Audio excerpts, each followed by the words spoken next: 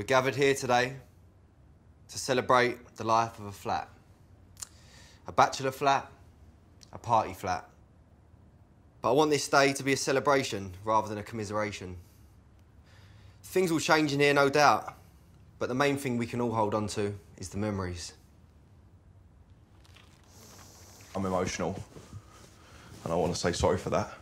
It's all right, it's It's fine. all right. I want to say sorry for that. You're allowed to be. And I miss the good times I had here, the friends I made, the girls. in here, in your bathroom, in your bed, In my bed? in your bed.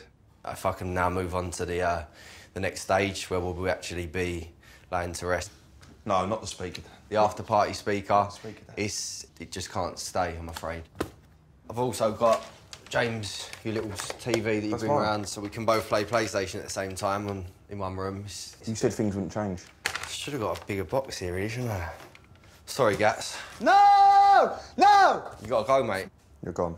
If we're gonna fit him in the box, you need to, like, just get a bit of length off there. What are you for doing? You can't cut off my head! No! What are you doing? Uh, and then just one more thing, actually got to go while I think of it. Uh, you can pass the basketball hoop down, No. please, Gats. Amber won't shoot some hoops in the living room with you. She don't want to shoot hoops with us, no. What is going to be happening in here?